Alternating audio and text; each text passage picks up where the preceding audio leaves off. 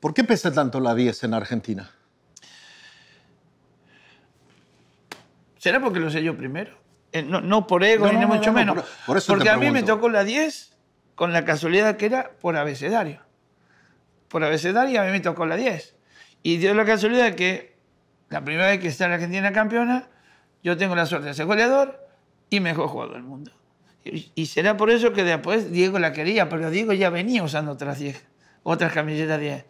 Y de la selección también. Bueno, la había utilizado en argentino, la había Claro, utilizado... la había salido en Japón, bueno, Claro. con la selección argentina. Pero que a lo mejor ahí es cuando empieza, porque todos los 10 en Brasil lo mismo.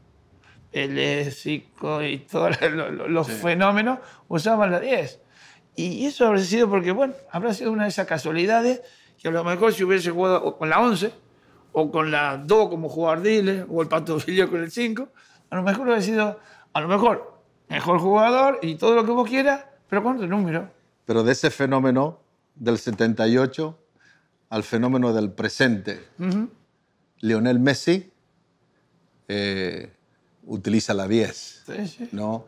Zurdo, ¿no? Y son zurdos. Las casualidades que los tres zurdos usamos la 10 y salimos elegidos, salimos campeones y elegidos como mejor jugadores, pero la diferencia la marqué yo. pero yo creo que Messi está, está ahí. Sí. En este momento es número uno. Antes fue Diego. Antes Pelé. Mario Alberto O Kempes. yo. Pero es decir, cada uno tiene su etapa.